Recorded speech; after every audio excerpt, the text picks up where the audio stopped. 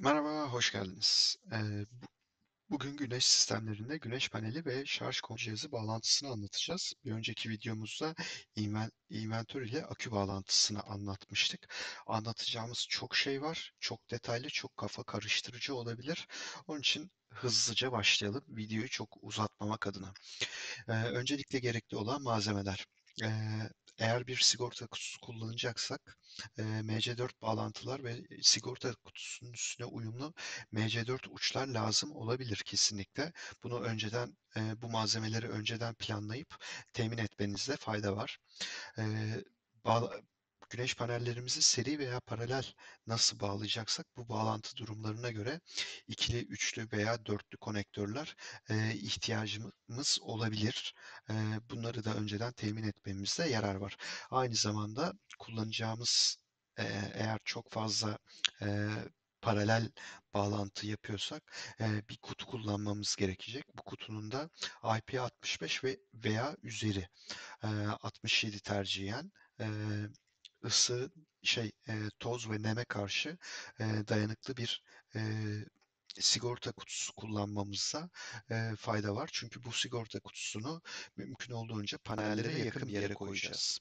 Eee, kullanacağımız sigortalar, kullanabileceğimiz sigortalar eee, normal cam sigorta şu sağ tarafta gördüğünüz gibi. Eee, bu sigortalarımızın eee, yuvası ondan sonra normal eee, standart o eee, ev, evde alışık olduğumuz sigorta eee, bağlantılarına rail denen bağlantılara bağlanan sigorta eee, tutacağı yuvası ondan sonra bu da içine taktığımız eee, cam tüp sigortalar. Bunları da değişik amperajlarda da yine panellerimize uygun olan amperajlarda temin etmemiz gerekiyor. Aynı zamanda kurulumu yaparken MPPT kitapçığımızın da yakınımızda olmasında fayda var. En azından takıldığımız veya hafızamızda unuttuğumuz bir şeyi buradan referans alarak kontrol edebiliriz. Evet, şimdi 5 tane toplamda 5 tane örneğimiz var. Bu 5 örneğin ilkini biraz detaylı anlatacağız. Eee, öncelikle bilmemiz gerekenler eee, neler? Eee, akü eee, akü ve eee, burada 3 tane eee, şeyimiz var. Eee, cihazımız var. Akümüz var, şarj cihazımız var ve güneş panelimiz var. Ekstra yardımcı olarak da sigortalarımız var. Eee, burada en önemli noktalardan bir tanesi kablolar. Kabloların doğru seçilmesi ve doğru hesaplanması lazım. Buradaki cihazımız üstünde yazan MPPT şarj cihazı eee, maksimum 100 volt destekliyor ve maksimum da 50 amper destekliyor. Eee, bu durumda yapmamız gereken şey aküyle şarj cihazı arasındaki kablomuzun 50 amper taşıyacakmış gibi hesaplanmasında fayda var ilk baştan itibaren. Her ne kadar bir panelde koysanız, eee, 8 panelde koysanız bu kabloyu ilk baştan yaparken eee, 50 amper taşıyacakmış gibi yapmanızda fayda var. Eee, kullanacağımız sigortada da yine bu cihazın desteklediği maksimum amperi destekleyen bir sigorta olmasında ben buraya 50 yazmışım ama tercihen 60 amperlik bir sigorta kullanmanız burada yerinde olacaktır. İkinci olarak eee, başka bir nokta ise eee, buradaki kablo kalınlığı. Kablo kalınlığını uygun kullanacağız dedik ama eee, cihazlarımızın yerlerini eee, planlarken eee, doğru akımda biliyoruz ki bilmemiz gereken şeylerden bir tanesi mesafe uzadıkça kablo kalınlığının da fazlalaşması gerektiği ve kablolar gerçekten fiyatlı kablolar, pahalı kablolar. Bundan dolayı şarj cihazımızı aküye mümkün olduğunca eee, yakın koymamız, tercihen 5 metrenin altında bir bağlantı yapmamız lazım. Uzun kablo kullandığımız takdirde riskler daha önceki videolarda da dediğimiz gibi eee, birincisi voltaj düşecek. Eee, ikincisi yanlış kablo kullandıysak bir yangın ihtimali ortaya çıkabilir. Buna çok dikkat etmemiz gerekiyor. Eee, şarj cihazımızdan eee, bahsettik. Eee, MPPT dedik. Eee, PWM şarj cihazını sorabilirsiniz. PWM hiçbir şekilde anlatmayacağım. Çünkü bir ev, tekne veya karavan kurulumu için kesinlikle PWM'i eee, şey yapmamıza eee, gerek yok. Yani mevzu bahis bile değil. Eee, Eee, gerçekten eee, yani bir sokak lambasında kullanılabilecek ama bir evde kullanılmayacak bir şarj cihazıdır.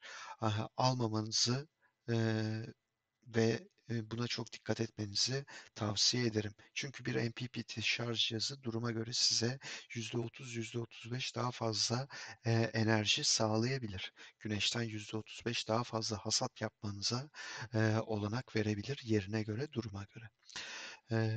Üçüncü olarak kullanacağımız panel.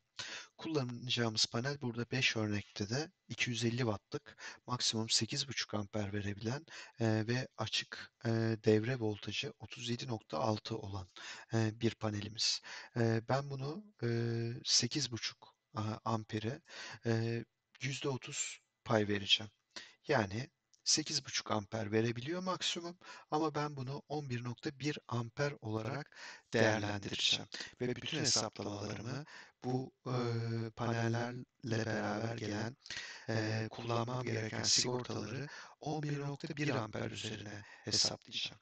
Aynı şekilde voltajım da e, 37.6'yı 40'a yuvarlayacağım.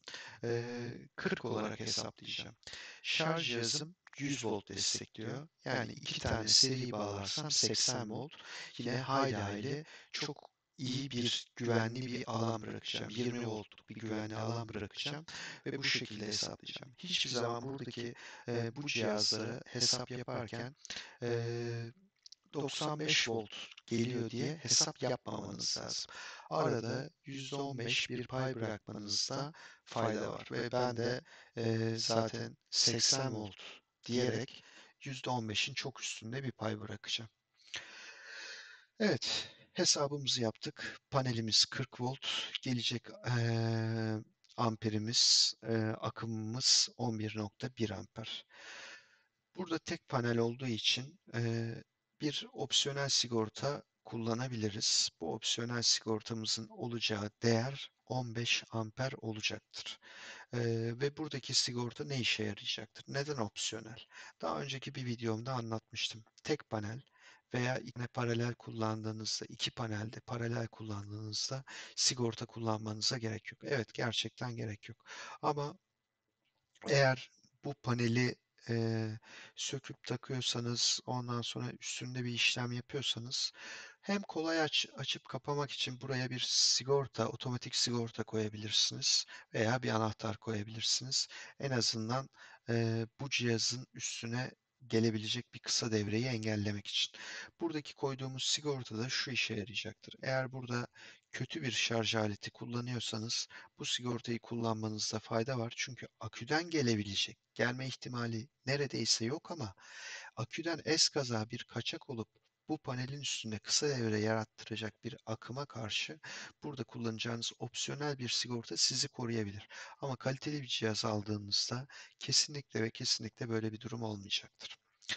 Ee, ikinci olarak e, yine bu taraftaki yani üretim kısmındaki dep burasının depolama kısmı burasının da üretim kısmı dersek üretim kısmındaki kablolamamız da önemli. Buradaki kablolamamız da mümkün olduğunca kısa olmalı ve kullanacağımız kablolar e, taşıyacağı akım ve voltaj değerlerine ve me metraj değerleriyle hesapladığımız kablo kalınlıklarına uygun olmalı.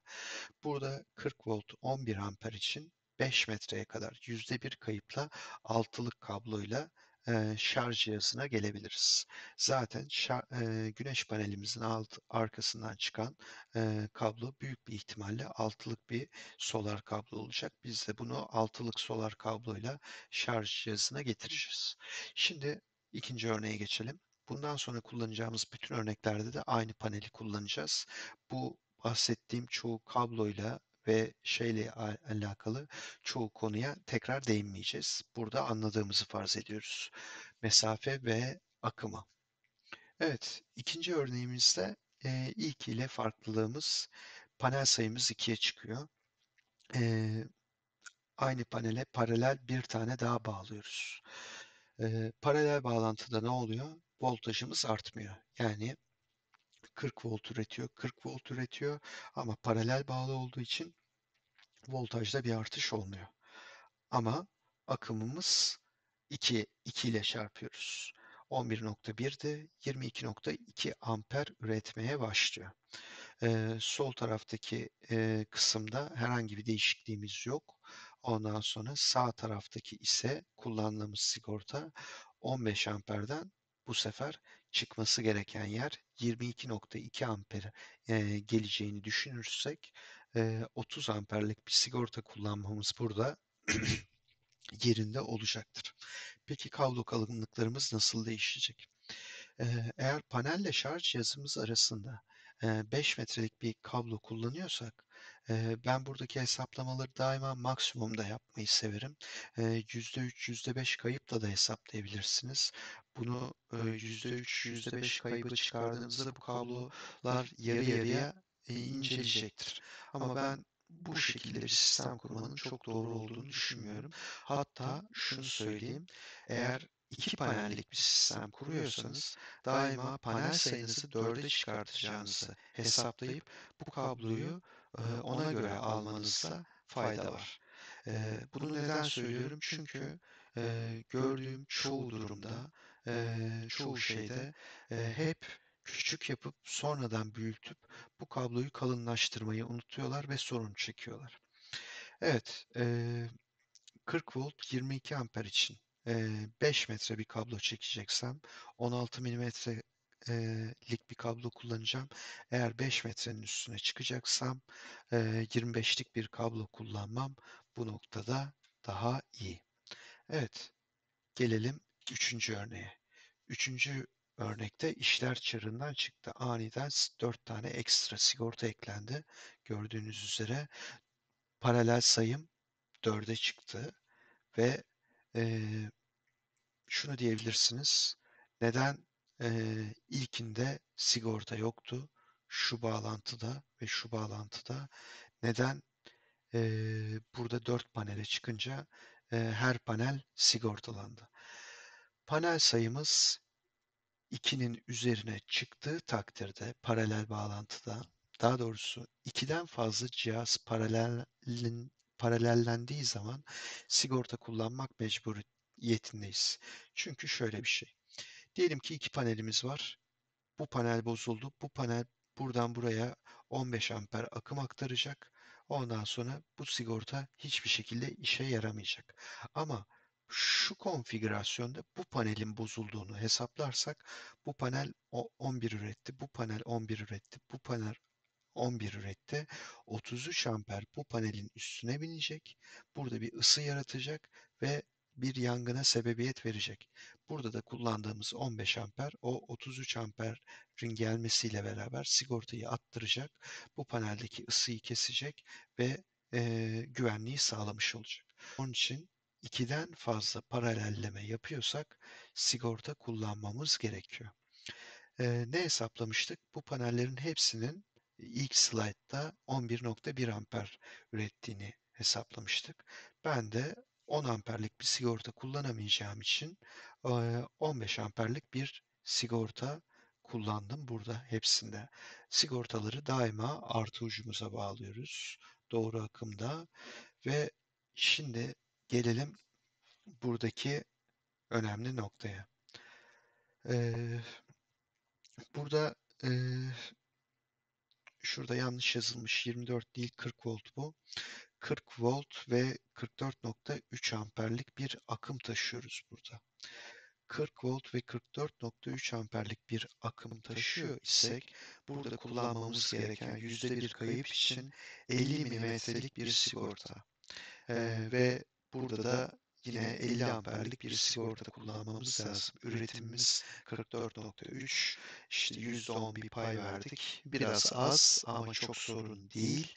Ondan sonra ee, ne yaptık? Ee, 50'lik bir kablo kullandık. Mantıklı mı? Ne yazık ki mantıklı değil. Bir, kablo 50'lik olduğu için kıvrılmayacak, bükülmeyecek vesaire vesaire. Bunu bu şekilde bağlamanın çok bir mantığı yok. Sadece tek bir durumda eee, bir panel böyle bağlanabilir. Biz MPPT'yi ne için kullanıyoruz? Voltajı yükseltip kablo maliyetini düşürmek için kullanıyoruz. Eee, sadece ve sadece eğer bu panellere eee, günün belli saatlerinde ikisine, üçüne, bir tanesine çok fazla gölge düşüyorsa eee, paralel bağladığınızda gölgeden minimum kaybı alırsınız. Onun için bu şekilde bir bağlantı gölgeli bir kurulumda mantıklı olabilir.